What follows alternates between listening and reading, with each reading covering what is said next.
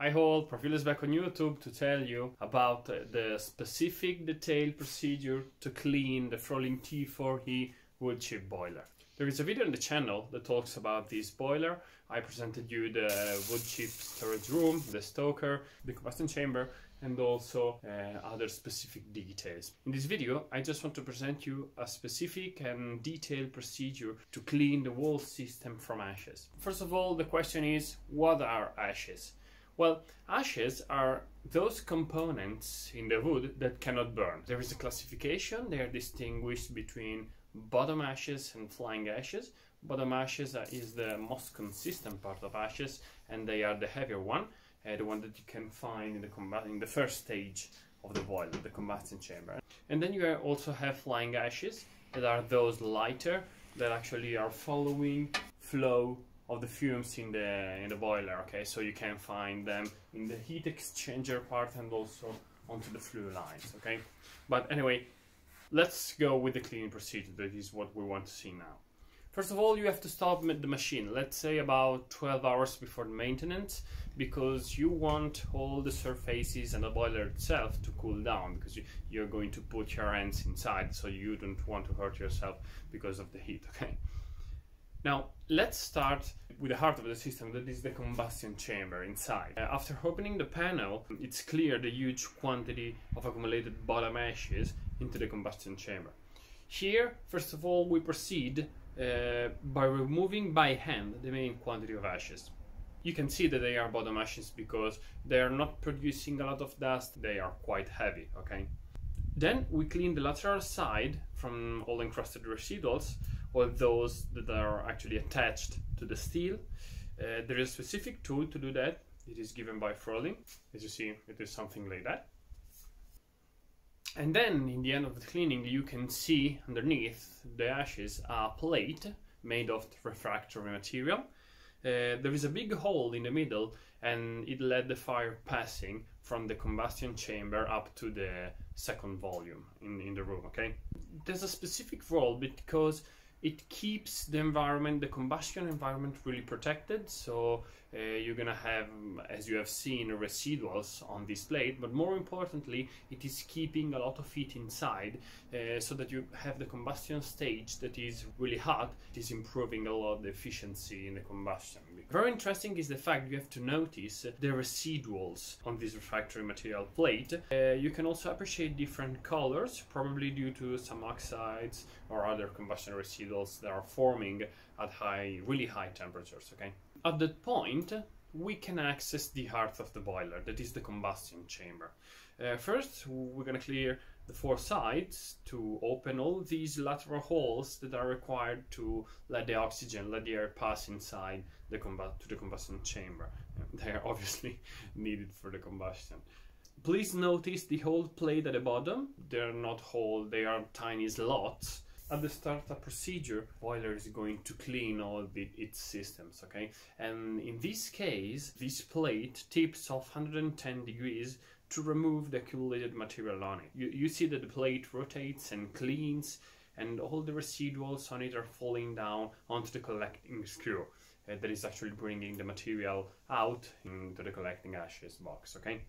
Finally, I'm going to remove by hand some small nails that are blocked into these slots. I just want to have them as open as possible because the air is passing and you also have that the ashes are falling down. So you don't want to have obstacles inside. At that point, the combustion chamber is perfectly clean. I want to show you how detail about the feeding system. You see that there is a screw on the left. It is the one that comes from the stoke and brings the material inside the combustion chamber. You see that once the feeding screw is activated, it is pushing the material into the chamber. And this is actually how it brings material inside actually. Very interesting. Now at that point we can remount the horizontal plate and finally we proceed with the cleaning next step is about the posterior part of the boiler, the section uh, where we do have the heat exchanger. First of all, we're going to remove the upper cover to access the turbulent section actually. You see a big layer of insulation material that actually is protecting the boiler surface against the high temperatures that you're going to reach in that point because you have all the fumes coming up, so it's really high. This is actually a very important point because it's the heat exchange part of the boiler the region where hot fumes are giving the heat to the cold water inside. Here we want to be as clean as possible, so it is really important to clean it sometimes because you want to maximize the heat exchange efficiency. Now, as you see, once open, there is a lot of flying ashes deposited here, both on the lid that I previously removed, obviously, and also on, onto the upper part of the heat exchanger, the turbulators in the boiler. Really important is the fact you can see them now. This is the heart of the heat exchange system, okay? Well, turbulators are actually those screws that you can see on the side of the tube and they have several functions. First of all, they're gonna slow down the airflows and in this way you give more time for the airflow to exchange heat. And since the speed is slowing down, you also have uh, that the ashes are falling down more easily and so you're cleaning a lot of the fumes. And finally, they are also important in the cleaning procedure because once they are shocked, they are going up and then down, they are cleaning the surface of the tube. This is good because you're removing solid residuals. At that point, we're going to clean by hand the turbulator lid. As you see, uh, there are a lot of uh, fine ashes, so they are falling down very easily. And then we also clean the upper part of the heat exchanger section because we want at that point to be as clean as possible in order to remove all the turbulators.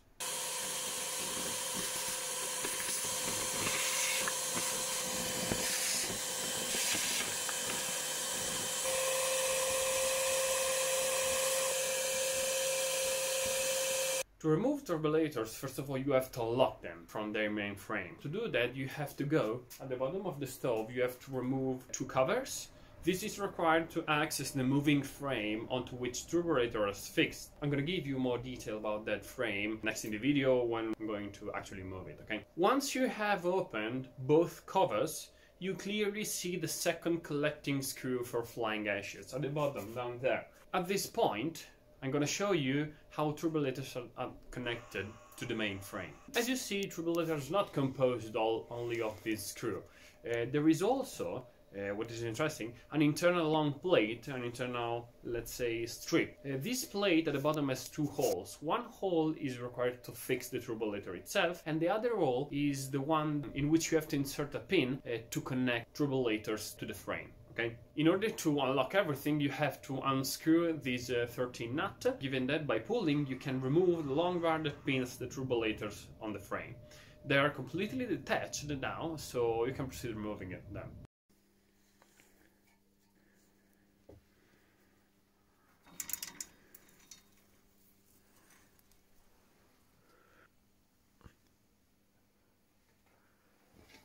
At that point, we have collected all of them. Okay, we have 20. There are 15 plus 5 turbulators.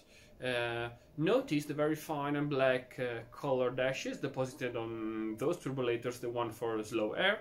On the contrary, you see a lot of more encrusted and solid residuals and they are also white colored one onto the, the 5. Those in fact that are contact with high temperatures. This is the reason of the different colored residuals on them. At that point, obviously, we can proceed cleaning them manually.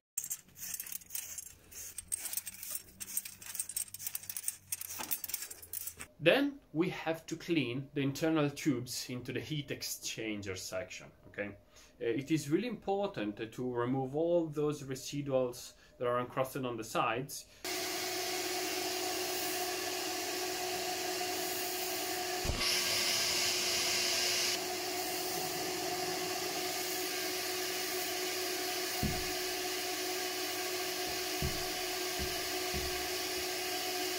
Notice also a detail about the cleaning tool. Our roof is not really high and so we have this tool is specifically designed to be flexible so that you can flex it and insert into the tubes even if your roof is not that much high, okay? Finally, once you have cleaned everything inside, as you see the surface of tubes are really, really clean, you can proceed by reinserting everything. 15 turbulators in the slow air section and 5 turbulators in the fast air section. Please remember that in remounting back all the turbulators you have to align the internal plate with the specific slot that is into the frame, into the mounting frame, okay? You have eventually to turn a bit the turbulator in order to let it fall down in the slot correctly. Once you have done that for all the turbulators, you can proceed by re-locking them. You put the pin inside and then you'll lock it again. Now at that point everything is uh, still opened so I just want to show you the cleaning procedure that is done at the startup of the boiler. This procedure is really simple. As I told you, turbulators are fixed on the frame. This moving frame slowly moves up and then uh, it falls down very rapidly. By doing that, turbulators are shocked and uh, all the ashes collecting on them are falling down into the section below. Thank you. There is actually an interesting question. As you see at the bottom, there's a collecting screw for flying ashes, okay? But actually, you have also turbulators far from this screw. So the question is, how are all the ashes collected into the, the screw in the lateral part of the boiler? Well, there is a mechanism, I'm gonna show you a detail in, in, the, in the video, that actually slowly moves towards the collecting screw in order to bring the ashes towards it, and then finally rapidly goes back. And this procedure done multiple time and in synchronization with a moving frame uh, let all the falling ashes going toward the collecting screw for flying ashes. Finally, we have to clean the flue lines up there and also the main fume blower. Okay, let's proceed then by removing the first flue line turn. Then we go with the horizontal line. You see a lot of uh, residuals on it because flying ashes are falling down really easily in horizontal trade. The ideal flue line is a perfect, perfectly vertical one. Okay, uh, because of the design of the plant, we had no space. We cannot do that, so we had to insert, as I told you in the previous video, two turns, 90 degree turns that we don't really like, but anyway, we had to do that, and also the horizontal line, okay? Then at that point, we can proceed by dismounting the blower, okay? That is located in the backward part of the boiler. There are external protection that we have to remove first, then you dismount the wall motor. You can see all the dirty blades that are full fine ashes on them. We clean them manually and with the compressed air in order to remove as much residual as possible, okay? Finally, using the vacuum cleaner, we can clean the first connection of the flue line up there, pay a lot of attention because here you have the lambda sensor, uh, the one that is measuring the quantity of residual oxygen at that point. It is this sensor is really important because with this information, the boiler is regulating the speed of the blower in order to intake more or less air depending on the combustion efficiency okay now at that point we have cleaned everything so we can remount everything and then you can restart the boiler and oh, that everything is working. Uh, we just rapidly looked at boiler temperatures. You can see that after the cleaning procedure, the hot fumes coming out at that point in the flue lines where there is also the temperature sensor, their temperatures are lower than, let's say, 20, 30 degree with respect to the situation not cleaned stuff. This means obviously that the efficiency in heat exchanging has improved a lot. So you have to do this wall cleaning procedure, let's say once per year at least. Uh, maybe it's gonna be better if you do it twice. Okay.